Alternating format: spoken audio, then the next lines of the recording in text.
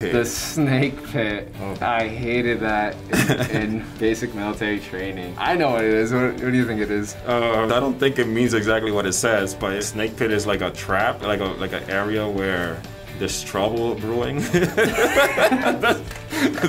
Yeah, it's definitely a, put, a trouble brewing. That's like an Air Force term. So basically, when DFAC, like where you get your food and stuff, at the very end of the line, that's Yeah. where all the MTIs are.